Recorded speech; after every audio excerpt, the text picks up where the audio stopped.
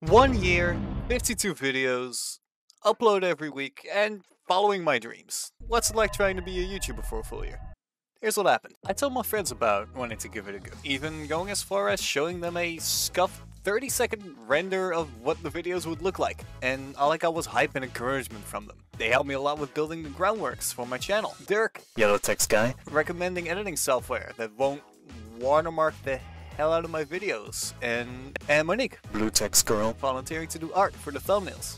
Well, I also immediately shocked by asking for a Rek'Sai doing a Jekyll pose. She was only a little disturbed. They also always did a final review with me before publishing the video for direct feedback and preventing anything weird from leaking out. But if there was something too vulgar, I could just always... Ik ben erg.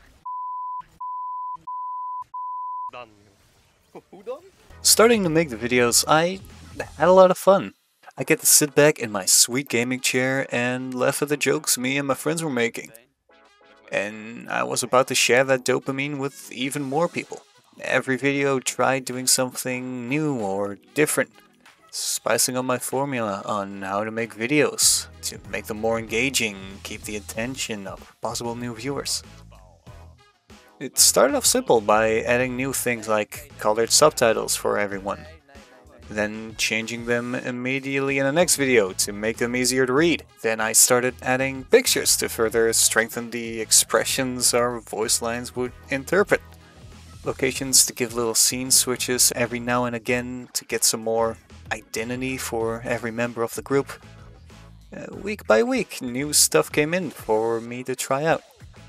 And looking back at older videos, I can definitely see myself improving at the making of these videos. What might surprise most of you, however, is that my first half of published videos were all in my native Dutch language instead of English. Precies hetzelfde. Ik moet. Ik moet. This is for one simple reason. My friend group is Dutch, and I'm not gonna demand everybody to start speaking English just because I wanted to try and make YouTube videos. To me, it would come off as less natural. We would become more quiet, fumble with words, and for me especially, it was difficult trying to get over the idea of needing to say stuff because I pressed the record button. I was putting more and more pressure on myself, thinking I should do more effort into giving commentary.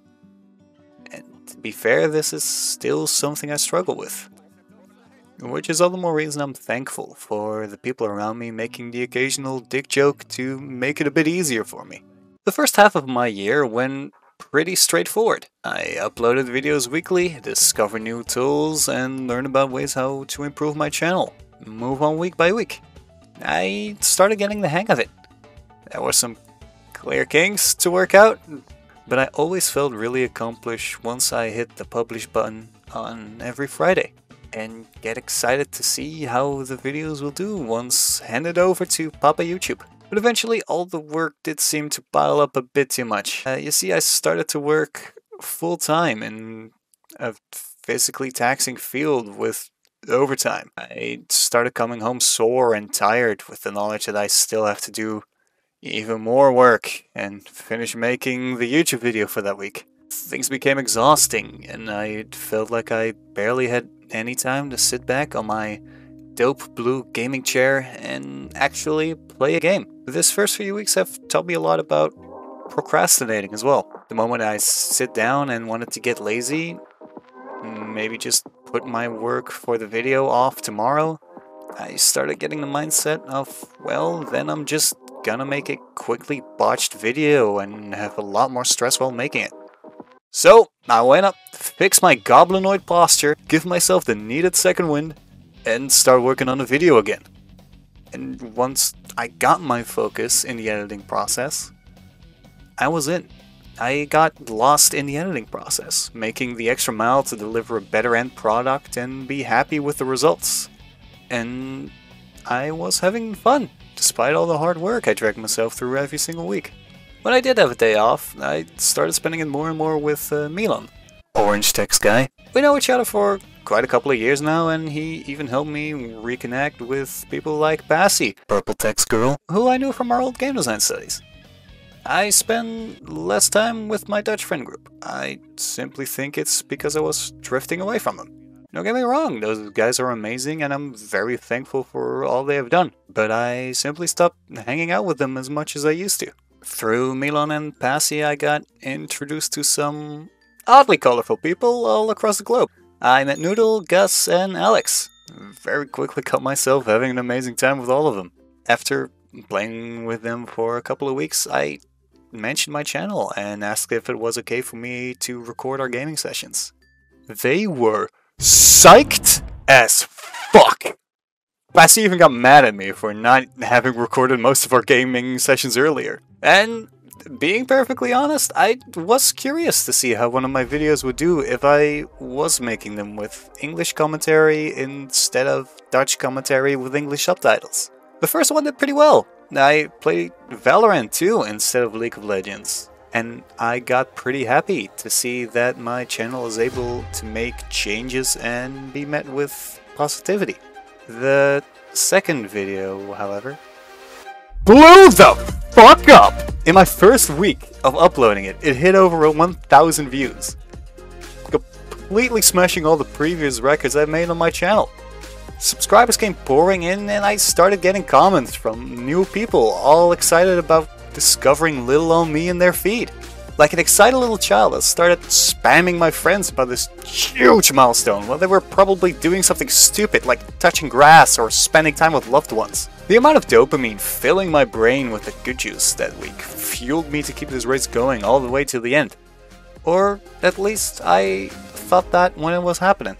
You see, that week I learned that YouTube isn't an arrow pointing upwards all the time. Sometimes you catch lightning in a bottle, and other times you eat dirt. After discovering that the following video didn't do nearly as well as the thousand view one, I talked a lot with Noodle about what your view on YouTube needs to be when you make your channel. Seeing it as a numbers game can destroy you. If your new video isn't doing as well as the previous one, in terms of views, you can feel like you have failed at what you wanted to do. This was a revelation I really had to sit back and think about in the confines of my amazing gaming chair that I didn't tell you guys about yet. But I think it taught me to stay humble, and from then on, I told myself I was proud of having made a video with over a thousand views.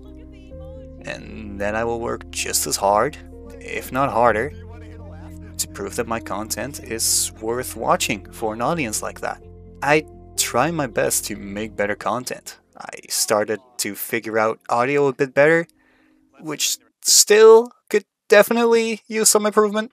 And at some point I made a video which I was insanely proud of in terms of audio and editing. In my opinion, it should have been one of the bangers that got a lot of views. But it was sadly left in the dust, which is such a shame because I think this is definitely one of my personal favorite videos. And if you guys want to see some of my work, I really hope you give this one a go. Because to me, it is criminally underrated. I'll put a link in the description and maybe put it even in that corner over there. But anyways, that wasn't gonna be the next big thing. But after a few weeks have passed, I was met with a brand new wave of excitement. This clickbaiting piece of shit right here! I straight up lied to you fuckers. Which got pointed out only twice. This thick-thighed motherfucker blew up. At work I was happy to notice it hitting 400 views, but then it jumped to 800. And then I got home. After that, it reached its peak of like 2,000 views. And again, the nice comments, the subscriber count going up, my brain getting that good juice. It was awesome. And better yet, the following video did great as well, reaching around 1,000 views. But YouTube has its ups and downs. Surely, after these two titans of videos would be standing next to some more humbly numbered videos. But the total average of views had definitely spiked. And down in the comments I started noticing some familiar friendly faces. People were actively watching, some even binging my videos, which are compliments that still put a smile on my face to this day. I know that 2,000 views don't mean a lot compared to large channels that do this as a career and have honed their skills over the years, but I didn't care. This is my channel. I made this together with the help of my friends, and I am fucking proud of it. Soon the weeks went by more quickly. Editing became second nature to me, even though some mistakes still peek their head out. But after all is said and done, I did it. After my stubborn ass told himself to do this challenge purely because I wanted to see if I could chase a dream, it had been completed. 52 weeks of hard work online available for everyone to see. And I feel incredibly accomplished. True, I didn't reach far enough to even be monetized or hit numbers crazy like 10,000 views. But I did what I set out to do, and I liked doing it. I uploaded on YouTube this year simply because I like doing it. And after all, I think that is the mindset that you should have if you want to keep going with YouTube, which I definitely will. This will not be the last that you will see of me on YouTube, but next year is going to involve some more experimenting. I want to take a bit more time between uploads to see what I am able to do differently. I want to see if I'm able to make entertaining videos about a single player game, going completely solo. I'm considering scripted content like this one, or maybe a bit more towards the funny skit side of things. And you guys have been willing to see my journey so far.